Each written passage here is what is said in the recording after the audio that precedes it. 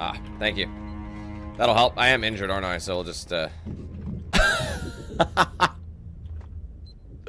oh, man, I love this. That's the Pete Townshend right there. It's a famous move, guys. It's always one of my favies. Ultimate power slide.